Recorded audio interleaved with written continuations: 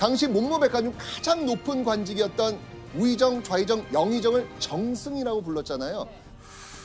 황희가 삼정승을 모두 역임한 겁니다.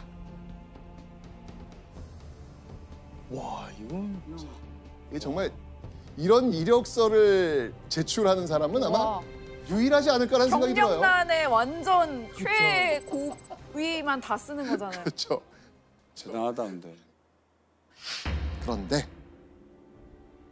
영의정이 되고 바로 다음에 황희는 세종에게 누구도 예상하지 못한 간곡한 부탁을 합니다.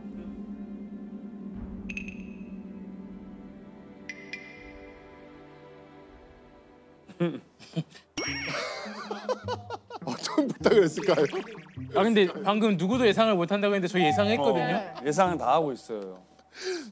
자, 이젠 70세가 되는 황희 이렇게 얘기합니다. 귀는 멀고 눈도 또한 어두워서 듣고 살피는 일이 어려우며 허리는 아프고 다리는 부자유하여 걸음을 걸으면 곧 쓰러집니다. 지기의 해면을 허락하소서 제발. 자, 지금 이거 어떤 부탁을 한 거예요? 나 그냥 이제는 부경하고 뭐 권력 다 필요 없고 제발 시골에서 쉬다가 죽게 해주세요. 제발 사직을 하게 해주세요. 자, 그렇다면 황희의 사직 요청을 받은 세종 어떻게 했을까요? 이번엔 이걸 내립니다. 바로 괴장이라고 지팡이와 의자 아, 근데 이게 무슨 다른 의미가 있나요? 왜냐면 자기 돈으로 살 수 있잖아요, 그게. 물론 도현 씨 말대로 살 수 있죠. 근데 중요한 건 뭐냐면 누가 내린 거예요. 왕이. 그럼 거기에 의미가 부여된 거잖아요. 바로 일을 그만두지 말고 계속하라는 거였습니다.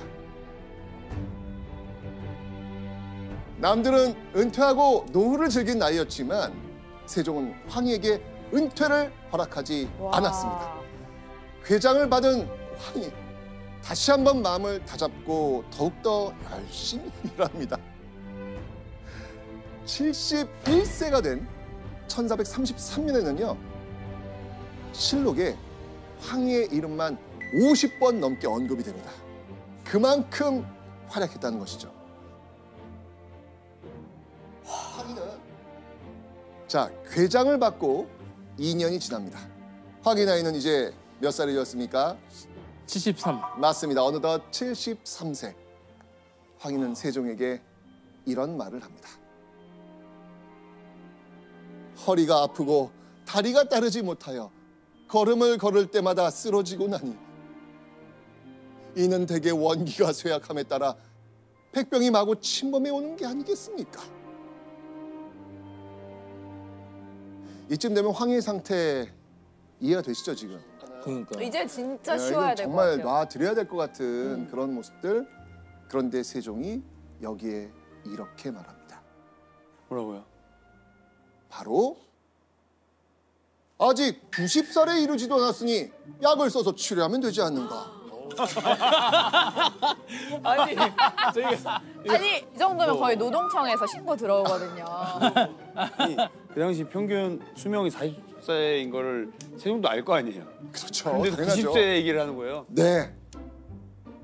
이렇게 또 1년이 넘어갑니다. 황희는 또다시 사직을 올립니다. 귀가 안 들린다는 것이 이유였습니다. 이제 정말 안 들립니다. 정말 안 들립니다. 그러나 세종은 불가하다. 와. 그래도 받아주지 않자 76세가 되었을 땐 세 차례나 사직상소를 올립니다. 종기로 피가 그치지 않고 어지럼증이 심합니다. 한 번. 아, 이제 건망증이 심해서 직접 말한 것도 기억하지 못하겠습니다. 두 번. 이거 완전 그 아예 그냥 그런 거 있잖아요. 사직서를 가지고 다니는 거 있잖아요. 가지고 다녔던 것 같은데 계속.